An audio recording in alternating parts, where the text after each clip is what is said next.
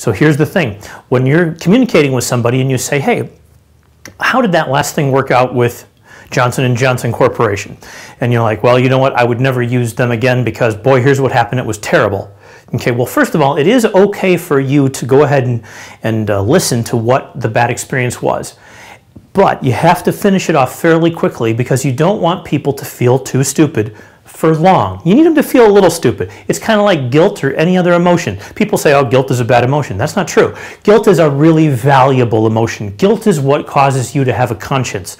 You must experience guilt, and it's really valuable for every single person that you do business with or you're in a relationship with to experience guilt too. It's how we know that something is right or wrong. So when people talk to you about some new age philosophy about, you know, not to experience guilt or shame or envy, there's plenty of times that you need to experience all of those things. The thing is, though, it's not for long because it doesn't do you any good if you have the bad feeling for too long. So when you're talking to your future client, your future girlfriend, your future boyfriend, whoever it's whoever it is, you want to make sure that when they're telling you about their past experience with someone like you, which is the reason they're talking to you because they failed every other time they had a service working for them, had pizzas delivered, whoever it was, they failed all those times. They failed every single time. And it's critical for you then to intervene and say, you know what? I can see why you're really frustrated. Write this down. I can see why you're really frustrated or upset or irritated or why you've been going crazy, any of those kind of things.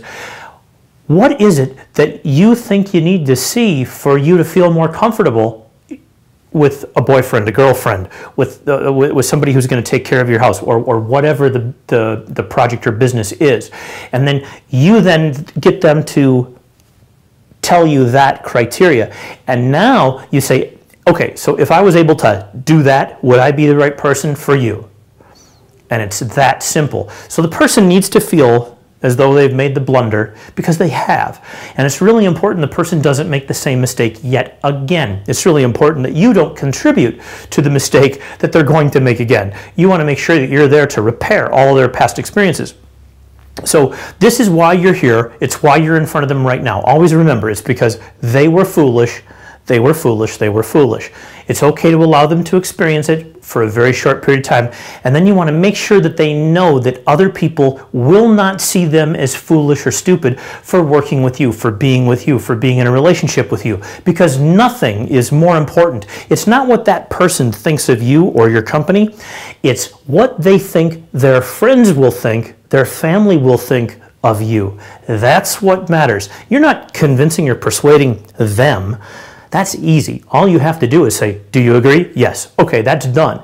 But the part of them that represents all of the people who are going to say, I told you so, shouldn't have done it, I knew you shouldn't, I told you you shouldn't, all those kind of things, okay, that group of people, the people that usually destroy other friend, their friends' lives, all right, here's the deal.